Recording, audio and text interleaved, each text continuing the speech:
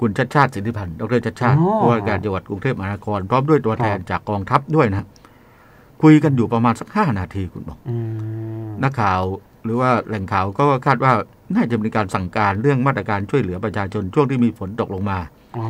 และเกิดปัญหาน้ำท่วมขังเนี่ยนะครับครับ ซึ่งก่อนหน้านี้ทางกองทัพและกรุงเทพมหานครได้ประสานความร่วมมือ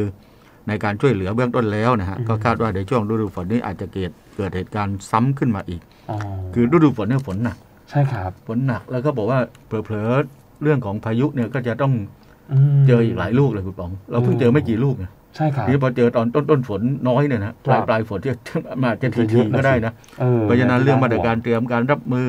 ครับการวางแผนพร่องน้ำอ่าอืมเวลาฝนหนักขึ้นมานะครับเพื่อจะได้ระบายน้ำลงไปได้ หรือว่าการ จะเกิดเหตุแล้วเนี่ยนะครับครับการลงไปช่วยเหลือ เครื่องไม้เครื่องมืออุปกรณ์กทมอย่างเดียวก็อาจจะลดลาอะไรต่างๆเนี่ยทางกองทัพก็ช่วยได้เยอะกองทัพก็จะมีนี่เยอะกว่า ถ้าประสานความร่วมมือกันก็น่าจะเป็นผลดีนะครับวันนี้ใช่ท่านนายกก็ก็คุยเองเลยคล้ายอืมๆคล้ายๆมีทั้งสองฝ่ายเลย มีทั้งกทมทั้งกองทัพด้วย นายกก็คุยสักห้านาทีนะครับอะอ่า